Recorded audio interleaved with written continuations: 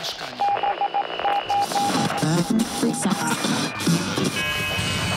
Odsłuch społeczny.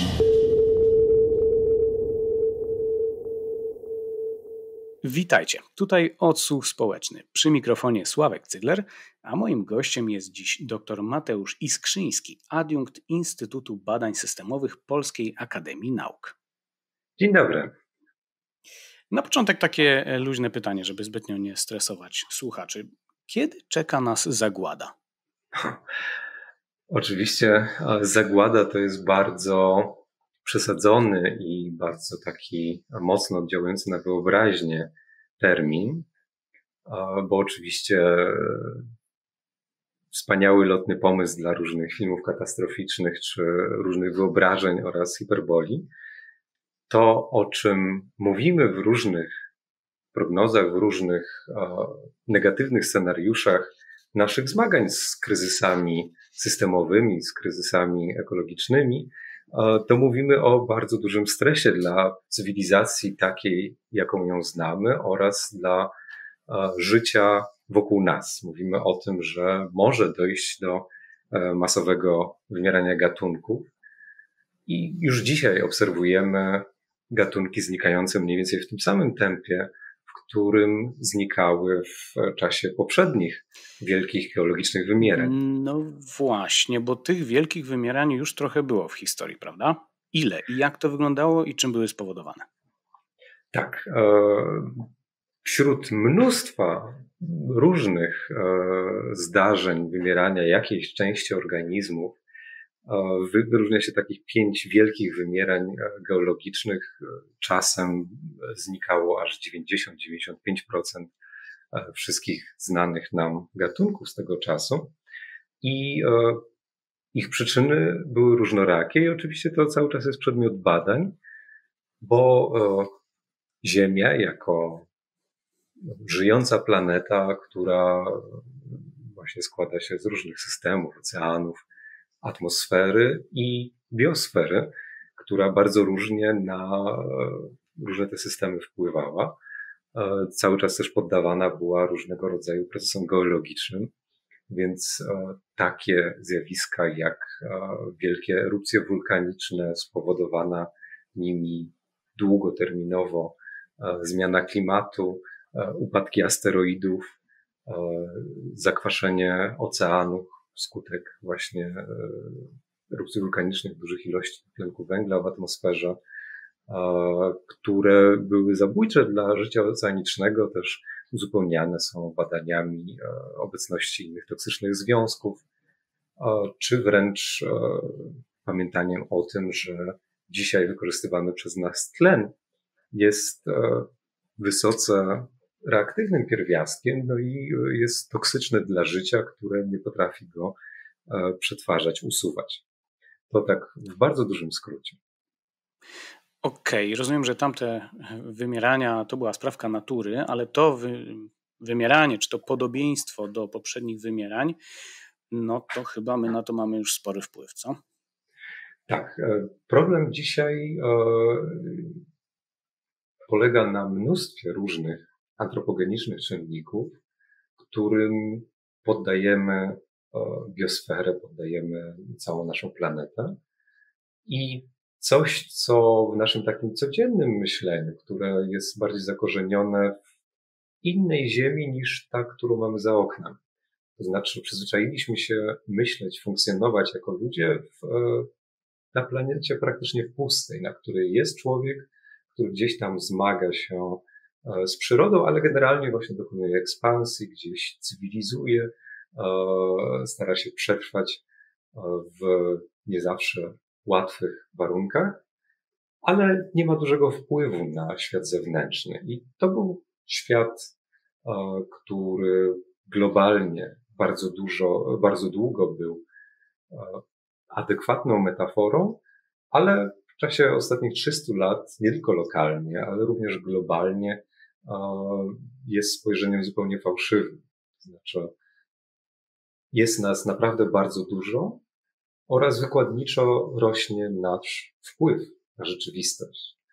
I wiele wyobrażeń o właśnie proporcjach naszego oddziaływania jest dziś zupełnie nieadekwatny.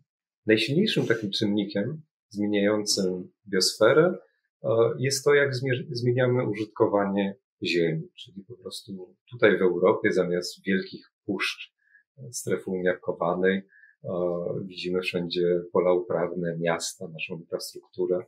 I to samo robimy teraz też w najbardziej różnorodnych, najbogatszych ekosystemach w strefie równikowej.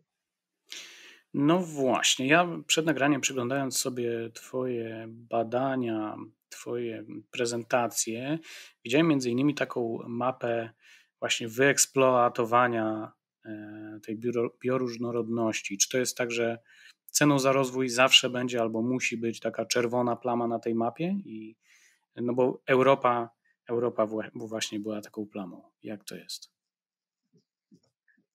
Więc jeśli chodzi o taką perspektywę, co historycznie musi być jakimś ograniczeniem dla społeczeństwa, to w dużej mierze różne kryzysy ekologiczne teraz mają e, postać jakiegoś zderzenia z granicami wzrostu naszego wpływu na środowisko.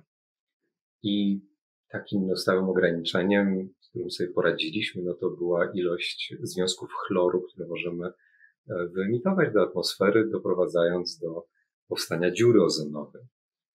E, innym takim ograniczeniem jest zaburzenie. Innych... Poradziliśmy sobie, czyli dziura, rozumiem, się już zmniejsza, tak? Tak, i to jest świetny przykład też przesuniętych w czasie oddziaływań. To znaczy, zawczasu, po długich debatach, długich sporach, przekonaliśmy się, że żeby w ogóle ocalić warstwę ozonową, a zatem ocalić życie na Ziemi, takie makroskopowe, które przetrwa, e, zginęłoby w przypadku promieniowania ultrafioletowego, musimy przestać po prostu produkować, emitować e, jakiekolwiek e, z chlorofluorowodorów, tak zwanych freonów, które niszczyły warstwę ozonową, ale dopiero nie wiem, 20 lat po moratorium na produkcję tych związków dopiero zaobserwowaliśmy zmniejszanie się tej dziury i w tym momencie rzeczywiście od chyba pięciu lat mówimy o tym, że dziura ozonowa w końcu zaczęła maleć, ale wciąż, zwłaszcza na półkuli południowej, jest dużym problemem. Okej, okay, to jest e, fajny przykład, do którego możemy się odnieść, jeśli chodzi o takie wspólne umówienie się świata na coś. Bo teraz jakby boksujemy się z tym, które kraje są w porozumieniu paryskim, które z niego chcą wyjść. E, ale rozumiem, że z dziurą ozonową było tak, że wszyscy trąbili o efekcie cieplarnianym, aż w końcu udało się wszystkim krajom umówić na to, że musimy to ograniczyć, i po 20 latach mamy pozytywne efekty. Dobrze rozumiem? Dokładnie. W tamtym wypadku też oczywiście były na początku prace naukowe, które mówią o, o możliwości zniszczenia dziury ozonowej wskutek właśnie cyklu, cyklu reakcji chemicznych e, z atomami chloru, rodnikami chloru. A dopiero później były badania łączące to ze związkami rzeczywiście emitowanymi przez człowieka, a w końcu badania empiryczne, które pokazały e, po prostu jak to zachodzi w atmosferze, czyli gdziekolwiek było wyższe stężenie freonów, tam natychmiast praktycznie do zera malowało stężenie, malało stężenie ozonu. Więc to był długi proces e, polityczny przekucia tego w e, globalne działanie, ale to się udało. To była fantastyczna globalna współpraca, e, naukowo poinformowane działanie, które pozwalało nam, pozwoliło nam ocalić w tym wypadku, ocalić nam jako złożonej cywilizacji. A jak to się ma do do tej współpracy, która jest teraz odnośnie e, ocieplenia, e, odnośnie zmian klimatu negowanych przez niektórych.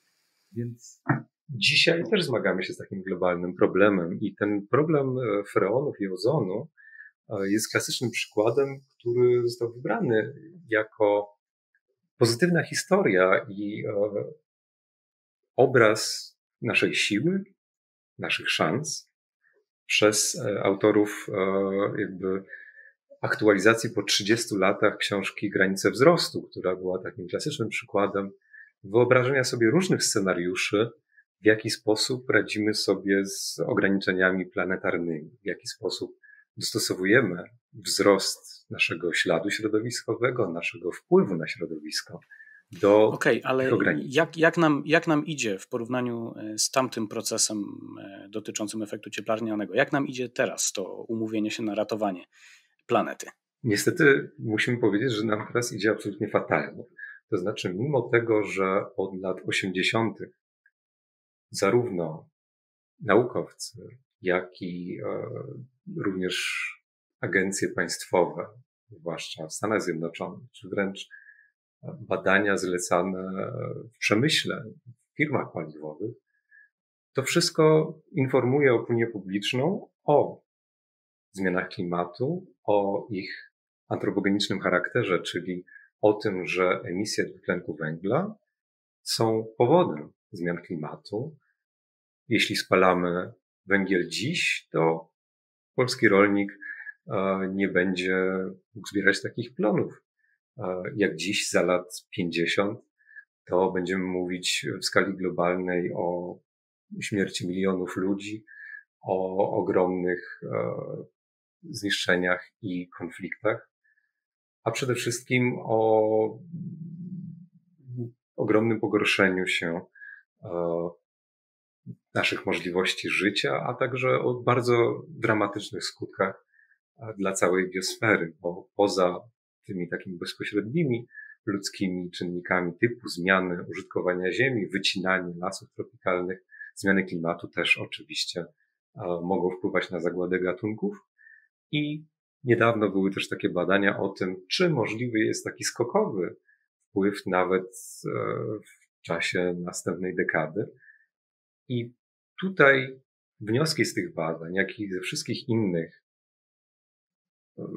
prób wniknięcia, jaka jest prawda o tej rzeczywistości wokół nas i o naszej przyszłości, to wszystko jest obarczone ogromną niepewnością. To znaczy, nie wiemy jak będzie i wspomniane porozumienie paryskie, które stawia za cel ograniczenie globalnego ocieplenia do 1,5 stopnia Celsjusza ponad poziom przedprzemysłowy, wciąż, zgodnie z modelami, ma pewne prawdopodobieństwo realizacji i zgodnie z raportem o dotyczącym właśnie tego scenariusza ograniczenia globalnego ocieplenia do 1,5 stopnia, żeby mieć chyba 60% prawdopodobieństwo zaledwie albo aż na faktyczne ograniczenie tego ocieplenia.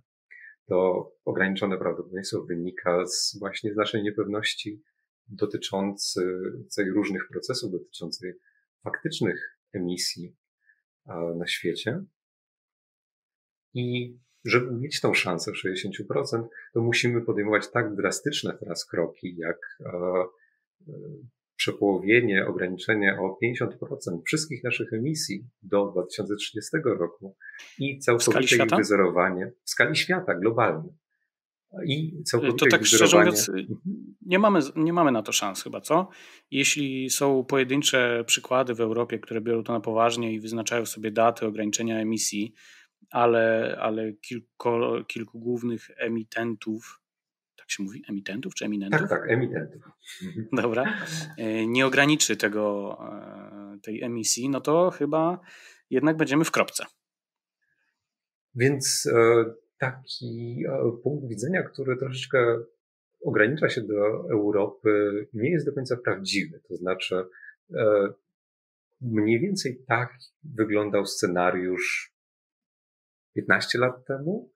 Natomiast w ostatniej dekadzie to państwa dynamicznie rozwijające się typu Indie i Chiny zaczęły całkowicie odwracać swoją strategię rozwoju chociażby sektora energetycznego rezygnując z budowy bardzo wielu nowych elektrowni węglowych i inwestując ogromne kwoty w rozwój fotowoltaiki, będąc praktycznie światowymi liderami, jeśli chodzi o instalowane moce. Mimo tego, że oczywiście na jednego mieszkańca mają do dyspozycji znacznie mniejsze fundusze niż bogata Europa. Więc bardzo często to kraje rozwijające się, które też będą najbardziej dotknięte kryzysem, bardzo silnie zabiegają o przeciwdziałanie, powstrzymywanie zmian, zmian klimatu, ale istnieje oczywiście grupa hamulcowa, która w miarę fluktuacji politycznych e, teraz, e, pomimo tego, że architektem porozumienia paryskiego był poprzedni prezydent Stanów Zjednoczonych, obecny prezydent Stanów Zjednoczonych e, wystąpił z porozumienia paryskiego. Podobnie, pomimo ogromnych pożarów, z jakimi w lasach, które wcześniej nie płonęły, zmagała się Australia. E, wciąż rząd Australii gdzieś w pojedynczych wypowiedziach chce zaprzeczać e, zmianom klimatu, a ogólnie jest wielkim hamulcowym negocjacji klimatycznych. To są ogromne trudności, ale musimy pamiętać, że po prostu ogromna moralna odpowiedzialność jest na nas wszystkich. I to nie jest wszystko jedno, jak postąpimy, bo nie jest wszystko jedno, czy ktoś e, umrze e, w straszliwym cierpieniu, e, czy nie. A mówimy o śmierci milionów. No ja się tak zastanawiam z pozycji konsumenta. Jest ileś tych sposobów, ograniczenie spożycia mięsa, segregacja śmieci, czy w ogóle ograniczenie produkcji śmieci, ale czy to nie jest tak, że dalej, jeśli my będziemy ograniczać te rzeczy, to czy i tak to nie będzie jakiś jeden promil wpływu w porównaniu z tym, co mogłyby zrobić rozwiązania systemowe czy rządy państw? To jest bardzo, bardzo ważny punkt. To znaczy, potrzebujemy bardzo, bardzo głębokiej zmiany systemowej, ale potrzebujemy wszystkich tych czynników. To znaczy, problem naszej walki ze zmianami klimatu polega na tym, że nie zadziałaliśmy dostatecznie konsekwentnie, odpowiednio wcześnie. Mimo świadomości, mimo istnienia pewnych mechanizmów politycznych i zobowiązań, chociażby na poziomie zobowiązań wielu miast, które zobowiązały się do ograniczenia emisji o stopniowo 20-40%, faktycznie całkowite emisje, biorące też pod uwagę dwutlenek węgla wyemitowany przy produkcji produktów, które importujemy, które spożywamy, często nie tyle zmalały, a wzrosły. I to w takich krajach, które chciałyby mówić, że odnoszą sukces, jak Wielka Brytania, Holandia, e, czy też Polska. I tutaj e, jest to wielka odpowiedzialność. W instytucie, w którym e, przez dwa poprzednie lata pracowałem, a który zajmuje się właśnie kwestiami zrównoważonego rozwoju, walki z globalnymi kryzysami, w tym powstrzymywania zmian klimatu, bardzo wiele badań wskazywało na to, że spośród różnych takich czynników ogólnospołecznych, które wiążą się z decyzjami konsumenckimi, naprawdę niewiele miało tak ogromny wpływ na redukcję emisji, jak po prostu prosta zmiana diety.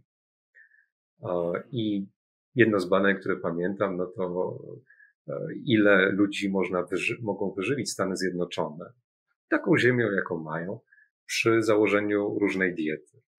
I oczywiście obecna dieta, która zakłada konsumpcję bardzo dużych ilości mięsa, wyżywi tych osób najmniej, aż e, być może czterokrotnie mniej niż e, dieta wegetariańska bądź wegetariańska plus E, przetwory mleczne, jajka. W Europie konsumujemy dwa razy więcej niż e, wynosi średnia światowa konsumpcja mięsa. To wszystko oznacza, że dużo większy jest po prostu nasz ślad środowiskowy, związany zarówno z emisjami dwutlenku węgla, ale też e, z użyciem wody oraz z niszczeniem bioróżnorodności, bo na przykład europejski, na europejskich fermach karmimy świnie soją z Brazylii, pod którą wycinany jest las równikowy. Więc żyjemy w świecie bardzo silnych globalnych powiązań, w których te indywidualne decyzje mają swój wpływ, ale żyjemy w świecie zbiorowej odpowiedzialności, w której decyzja polityczna związana z tym, czy na poziomie całego społeczeństwa wycenimy te tak zwane koszty zewnętrzne, czyli koszty, które przerzucamy na innych, koszty, które poniosą przyszłe pokolenia, naszej codziennej działalności, naszego krótkoterminowego dobrobytu, zysku są w cenie produktu, czy, czy nie, czy obciążamy nimi tylko nasz e, system zdrowotny, nasze środowisko, to jest kwestia naszych wyborów politycznych. No właśnie o tym chciałem wspomnieć, bo to, że mamy mniejszy lub większy wpływ e, poprzez to, jaką stosujemy dietę, czy ogólnie jak, jak żyjemy, to chyba duży wpływ ma to, że mm, dzięki naszym ruchom e, politycy i sondaże dostrzegają takie trendy, dostrzegają potrzeby e, obywateli i zaraz chcą się do nich dostosować. Więc może to jest jakaś taka nasza siła jako małych, prostych konsumentów. Absolutnie. Bardzo chcielibyśmy, żeby, żeby tak było. I e, świetnym przykładem siły konsumentów E, jest chociażby e, ta pozytywna historia dotycząca dziury ozonowej. To znaczy, e, przemysł, który na początku twierdził, że, że nie, nie da się zrezygnować z opierania chłodziarek i lodówek o freony, ze względu na przeszacowane koszty całej operacji, natychmiast zmienił zdanie, kiedy okazało się, że z roku na rok e, spadły, spadła sprzedaż o 20%, bo bojkot ogłosiły organizacje konsumenckie.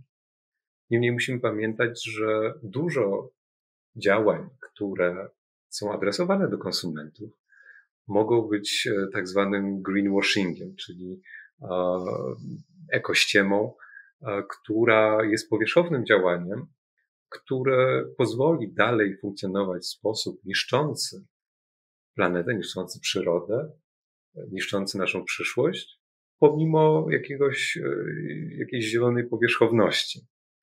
Tutaj może być świetnym przykładem e, lotnisko pod Wiedniem, które chce zbudować trzeci pas startowy i e, gwałtownie zwiększyć liczbę realizowanych, przyjmowanych lotów, ale jednocześnie zasilać e, sam budynek lotniska z paneli e, fotowoltaicznych i twierdzić, że w ten sposób redukuje emisję.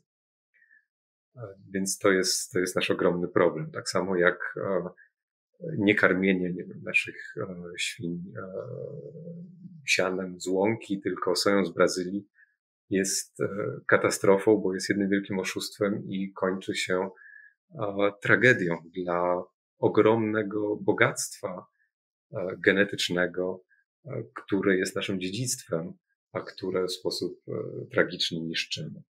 A skąd możemy czerpać sprawdzone, możliwie sprawdzone informacje na temat zmian klimatu, przyrody, natury?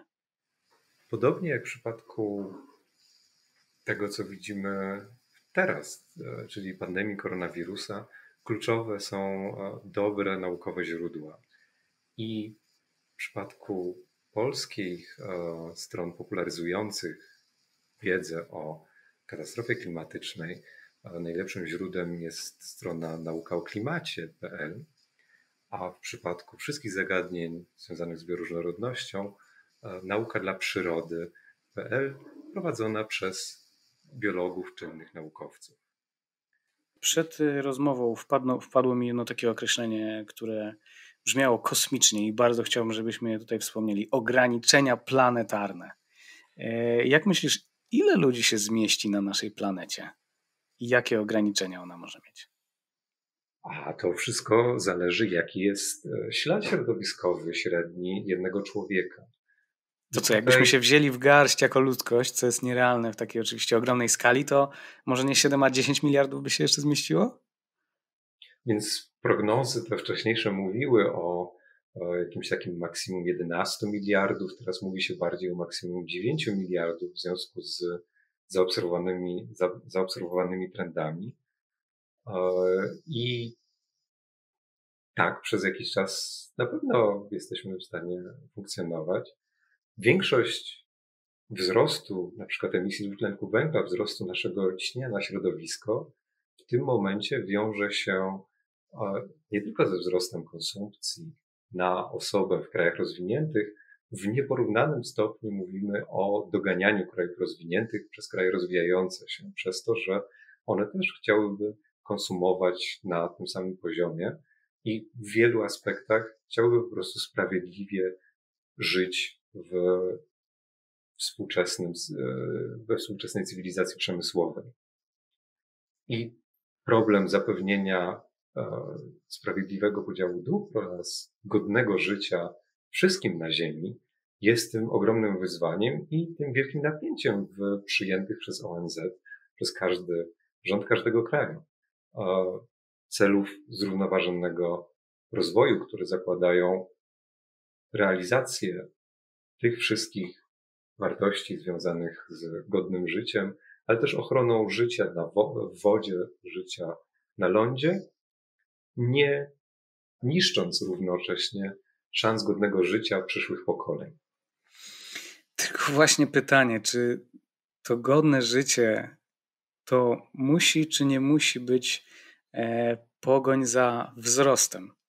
Bo szczerze mówiąc, e, nawet ta pandemia e, wielu ludziom chyba pokazała coś takiego, że ci powiedzmy bardziej nastawieni na właśnie ograniczenie konsumpcji, spożycia mięsa, mogli myśleć, że trzeba po prostu żyć w bardziej zrównoważony sposób, nie gonić tak za eksploatacją planety, za, za właśnie tym ciągłym wzrostem. Ale nastała pandemia, pobyliśmy sobie dwa miesiące w lockdownie, e, który już powoli zanika, czy władze tego chcą, czy nie. No i się okazuje, że my chyba jesteśmy uzależnieni od tego wzrostu, od tego, żeby dostać awans, żeby dostać podwyżkę, żeby więcej pieniędzy oszczędzić, żeby zmienić auto na lepsze za jakiś czas.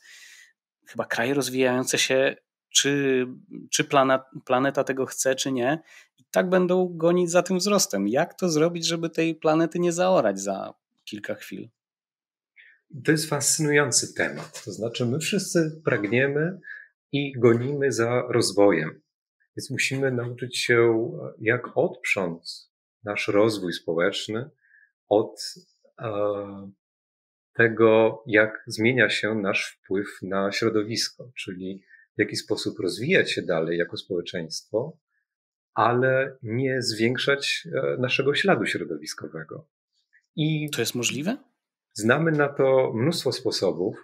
E, niedawno podawałem taki przykład, no, jak bardzo zrewolucjonizowały jakość naszego życia takie wynalazki jak szczepionki, jak penicylina, które nie wymagały wcale wzrostu produkcji przemysłowej.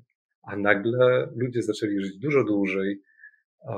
Jeszcze prostszy przykład, no to zwyczajne mycie rąk w szpitalach, które śmiertelność przy porodzie z poziomu 20% zmniejszało do 1% czy praktycznie do zera.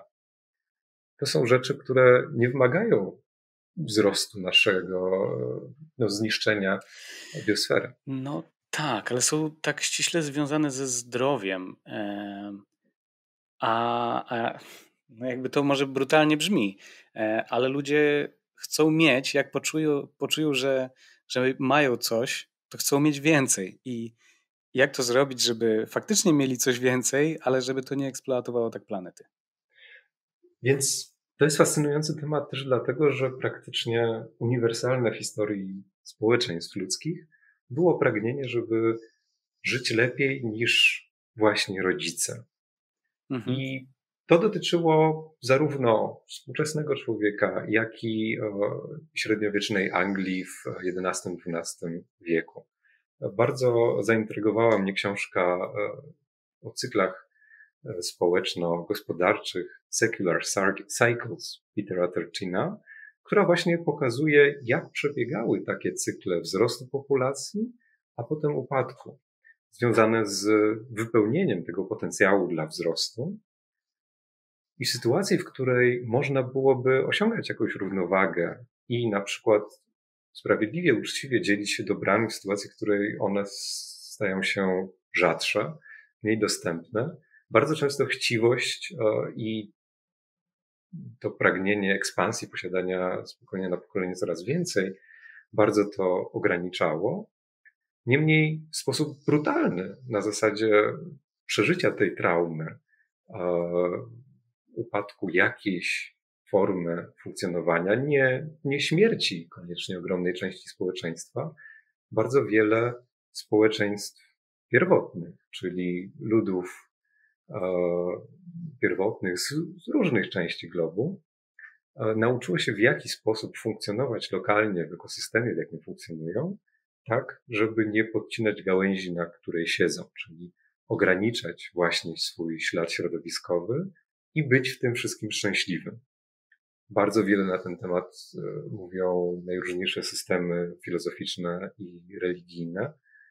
I również badania e, szczęścia pokazują, że oczywiście jest ono skorelowane z poziomem zagrożeń, bezpieczeństwa i tak dalej, ale absolutnie nie jest konieczne do szczęścia bycie bogatym, że prawdziwe szczęście to jest szczęście z tego, że ma się dość i że jest dość dobrze. I to jest takie w zasadzie wewnętrzne ćwiczenie dla e, każdego z nas na co dzień, a wiele sposobów funkcjonowania, które są bardzo obciążające dla środowiska, czyli chociażby miasto, w którym wszyscy jeżdżą swoim własnym samochodem, a jeżdżą z prędkością 10 km na godzinę, bo oczywiście fizycznie nie da się tego wszystkiego w mieście zmieścić. E, jest trudne do życia, jest pełne hałasu i spalin, a miasto, w którym osoba najbogatsza pojedzie e, do opery na koncert rowerem, e, jest niesłychanie przyjemniejsze do życia dla wszystkich i dla tej osoby, i dla kogoś, kto, kto mieszka obok i słucha śpiewu ptaków raczej niż ryku silników. No to dobrze, że udało nam się to jakoś tak obrócić na taki pozytywny, pozytywne światełko w tunelu. Jak, jak mówiłeś o tym obrazie człowieka szczęśliwego, który niekoniecznie musi mieć więcej, to ja miałem przed oczami Skandynawię albo północną Szkocję, malownicze Highlands, gdzie e, te domy, w których mieszkają ludzie, nie muszą być nowe, ale mogą być po prostu zadbane. Samochody nie muszą być jakieś mega wypasione, ale muszą po prostu jeździć Miasta są jakieś takie bardziej harmonijne, właśnie spokojniejsze. E, no i Skandynawowie faktycznie, według badań, są chyba naj, najszczęśliwszymi e, ludźmi. Więc może to jest jakiś sposób. Tak, w Skandynawii jest to oczywiście kwestia bardzo wielu czynników. Wychodzimy od dużo mniejszej gęstości ludności, więc dużo łatwiej jest to osiągnąć, ale jednocześnie bliskość człowieka i dzikiej przyrody w Skandynawii, nieporównanie mhm. dzikszej niż na reszcie, w reszcie Europy, jest, wydaje mi się, tym kluczowym czynnikiem. To znaczy coś, co widzimy na co dzień na przestrzeni własnego życia, no to coraz bardziej oddalenie się człowieka od właśnie kontaktu z rzeczywistością, kontaktu z przyrodą oraz e, no właśnie, niestety, kryzys bioróżnorodności jest dramatyczny, chociażby spadek e, liczby owadów w ciągu ostatnich 30 lat o czynnik 4, co oznacza, że. Co żyjemy, to oznacza? Mhm. Co oznacza, że żyjemy w zupełnie innym świecie niż nasi rodzice i nasi dziadkowie w podobnym wieku, który zaczyna być coraz mniej pierwotnym rajem, przyjaznym człowiekowi, a coraz bardziej e, miejscem, które, które niszczymy, na które wpływają w sposób destrukcyjny. To przetrzymajmy się może na chwilę tych owadów, bo nie do końca zrozumiałem, jak, jak bardzo ta różnorodność owadów się e, zmieniła. Tak, e, wydaje mi się, że część słuchaczy jak myśl sobie o owadach, to myśl sobie o wkurzających komarach albo czerwonych mrówkach, ale my się chyba nie powinniśmy cieszyć z tego, że jest ich coraz mniej, prawda? Jaką one rolę odgrywają i jak bardzo mało ich już jest? Więc te badania, o których wspominałem, mówią właśnie o 75% spadku liczebności owadów w ciągu ostatnich 27 lat. E, I e, mówimy o, w ogóle o wadach, ale ich ogromna rola w ekosystemie poza byciem takim fundamentem tego makroskopowego życia, które obserwujemy, bo przecież nimi głównie żywią się chociażby ptaki, są również w złożonych relacjach e, z roślinami. głównie jako zapylacze. Szacuje się, że około dwóch trzecich wszystkich naszych e, uprawianych gatunków zależy od zapylania przez owady. Ogromna część naszego rolnictwa nie poradzi sobie bez usług zapewnianych przez owady. W Polsce jesteśmy jednym z wiodących, e, jeśli nie absolutnie czołowych, producentów jabłek na świecie. Na świecie. Te wszystkie sady e, znikną, jeśli znikną owady je zapylające. Jesteśmy w e, bardzo daleko posuniętej symbiozie z biosferą i z tym światem, który tak bardzo niszczymy. I tutaj jakby jednym z głównych czynników na które wskazują badania, jest wojna chemiczna, jakie, jaką wypowiadamy owadom, oraz e, drastyczny spadek różnorodności krajobrazu, to znaczy monokultury w zakresie upraw na bardzo dużym obszarze. E, w takiej przestrzeni owady po prostu nie mają co jeść. To znaczy w zróżnicowanym krajobrazie ciągle coś będzie kwitło, zawsze będzie jakiś nektar, a w sytuacji, w której, nie wiem, nawet mamy pola rzepaku po horyzont, w momencie, gdy one przekwitną, to już niestety nie ma, nie ma gdzie przeżyć. A druga rzecz, no to długo utrzymujące się w środowisku substancje toksyczne, które mają e, załatwić te szkodniki z naszej perspektywy, ale one trują absolutnie wszystko, są również toksyczne e, dla ptaków. I niestety e, niszczą podstawy funkcjonowania naszych ekosystemów. Dlatego jest w zasadzie konsensus naukowy i również świadomość polityczna o, te, o tym, że musimy zupełnie zmienić sposób gospodarowania, jeśli chcielibyśmy widzieć płodną polską ziemię tak, jak, jaka ona była przez pokolenia, również dla swoich dzieci i wnuków. No dobra, e, to umówmy się, że tą muchę, która wpadnie nam e, do mieszkania, no to jeszcze powiedzmy, że możemy zabić, ale oczekiwalibyśmy od rolników e, na przykład, żeby używali jakichś środków, które bardziej będą te owady oszczędzały.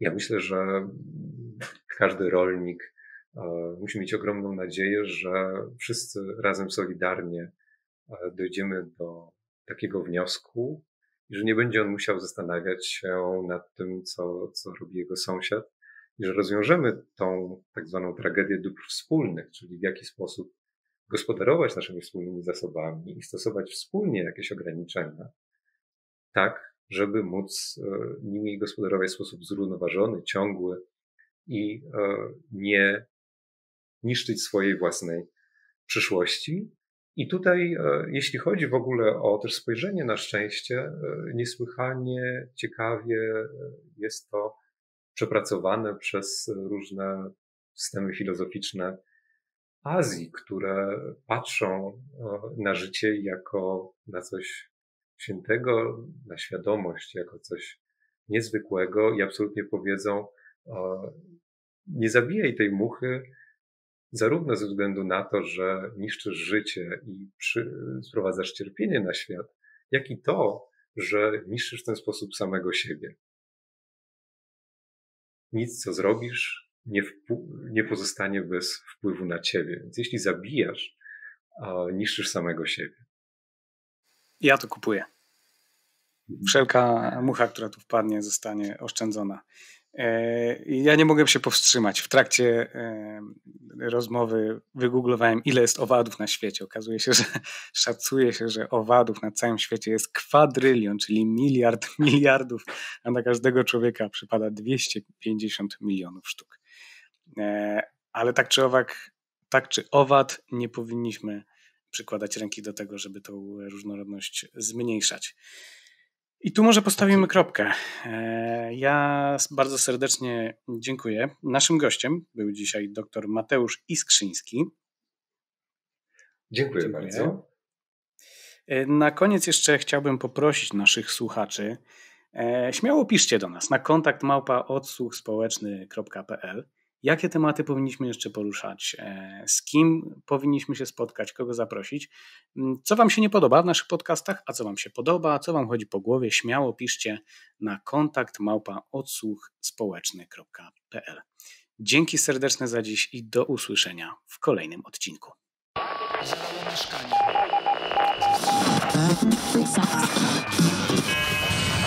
Odsłuch społeczny.